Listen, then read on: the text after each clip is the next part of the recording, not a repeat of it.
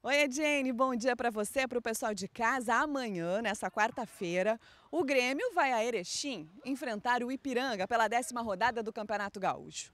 O time do técnico Leocir da Lastra conta com uma estrela que não é ídolo só lá em Erechim, não. É ídolo de todos nós gaúchos, brasileiros, que gostamos de futebol.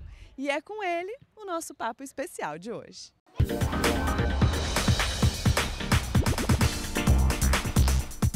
Eu sei que muitos clubes do interior, quando vão enfrentar a dupla Grenal, respeitam esses adversários de peso. Mas se o Grêmio nesta quarta-feira vai ter que respeitar alguém, esse alguém está aqui ao meu lado, Paulo Baier. Que honra, que prazer estar falando contigo. Que história maravilhosa tu conseguiu conduzir pelos gramados do país todo e agora está nos brindando no gauchão também. É, obrigado pela oportunidade, fico feliz também de estar representando Ipiranga, Erechim, né? Também próximo, né? Sou de Juí também, então fica tudo próximo e agora vamos enfrentar o Grêmio aí, que é um adversário difícil.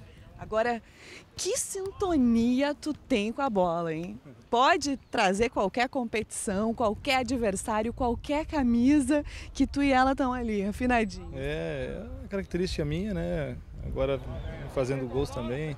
Lógico que eu não fiz uma pré-temporada, foi muito rápido né, a minha vinda aqui para o Ipiranga, então foi questão de, de, uma semana. E a rapaziada aqui do Ipiranga, né, um grupo muito legal de trabalhar, tem o um respeito, né, isso é importante, a gente é, ter o respeito dos companheiros, enfim, do adversário.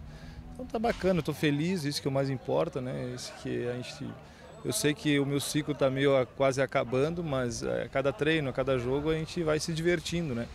Então a gente procura fazer dessa forma, com felicidade, com alegria e, e as coisas vêm acontecendo e quando der a gente bota a bola para rede. para ti é uma alegria, uma diversão, mas para o adversário é um pavor, né? Porque Paulo Baier hoje construiu, né, uma história dentro de campo que os adversários tremem um pouquinho.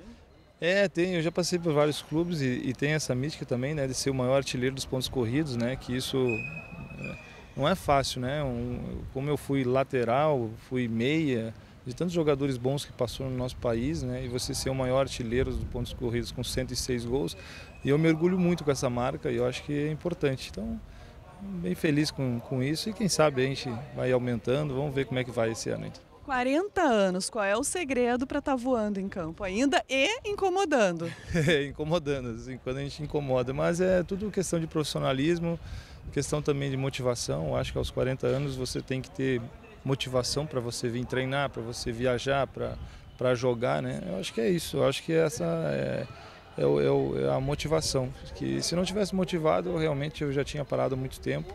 Mas eu gosto disso, eu gosto desse ambiente dentro do futebol, das, da brincadeira, vestiário, enfim, isso me traz felicidade. Eu acho que enquanto tiver condições ainda e pernas para aguentar, eu vou jogando. Como é que você vê essa pressão, essa instabilidade que o Grêmio vive, né? Você que vai enfrentar o Grêmio agora e que não tem nada a ver com isso também, vai querer se aproveitar disso. Mas como é que você vê?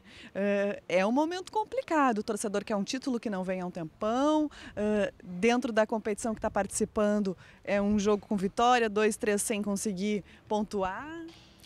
É, mas eu acho que o Grêmio vem fazendo as coisas certas, né? Com equilíbrio, né? E a gente acompanha sim, né? Pelo menos, né?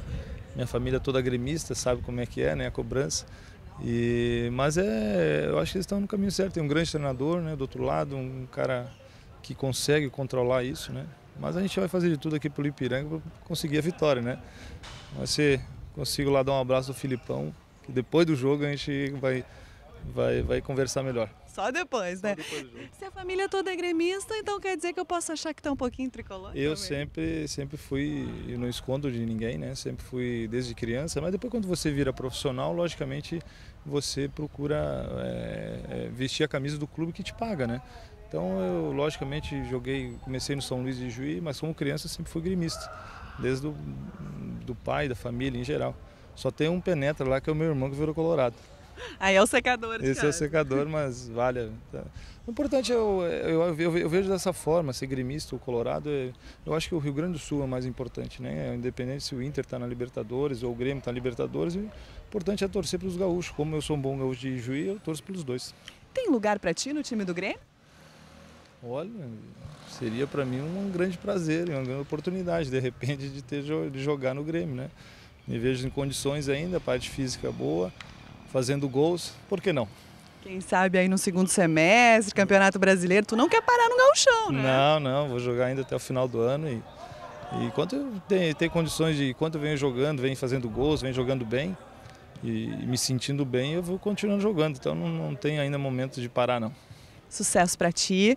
Te esperamos um dia ao vivo lá no nosso campinho, né? Será Junto comigo, com o Vidarte. Será, será um grande prazer. Mandar um abraço para ele também, que às vezes é, quando a gente está lá em dia, a gente acompanha o programa de vocês. Ah, é mesmo? Poxa, então tu sabe que a gente se despede como? Mandando beijo assim, né? Pro pessoal de casa. Beijo, beijo.